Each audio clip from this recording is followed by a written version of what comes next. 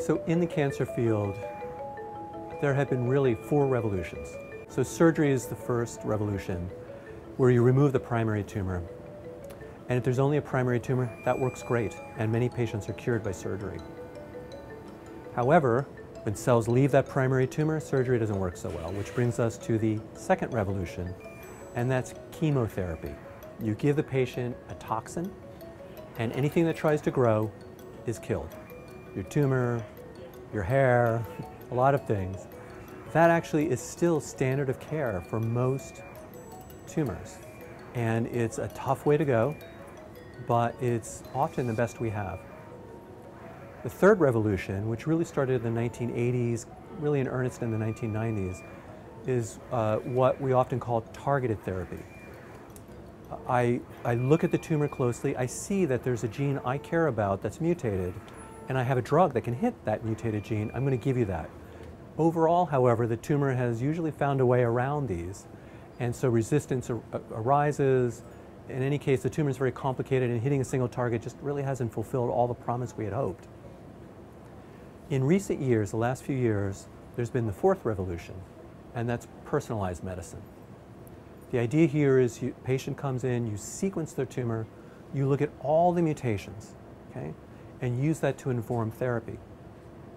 American Cancer Society provided a grant on a very unusual approach using fruit flies, Drosophila, creating models and screening for drugs.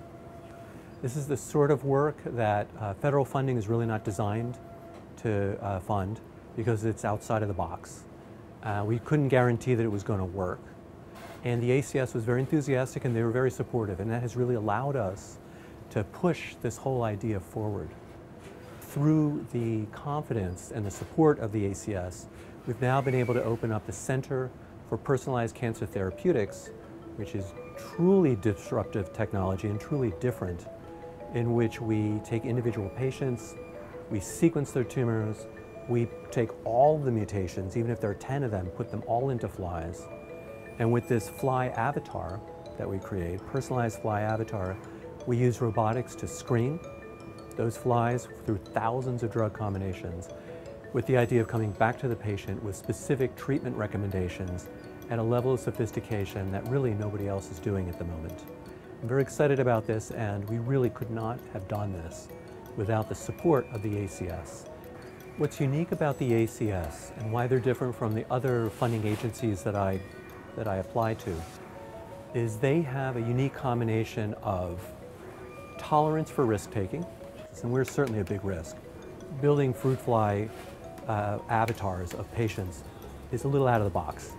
But at the same time, the ACS is woven into the cancer community in a way that I'm not aware any other uh, agency, uh, federal or private is. Our research could not be done without the support of the American Cancer Society. This sort of freedom to explore new ways and get at what has now become a major scourge in our society is very much appreciated. We could not do our work without your help.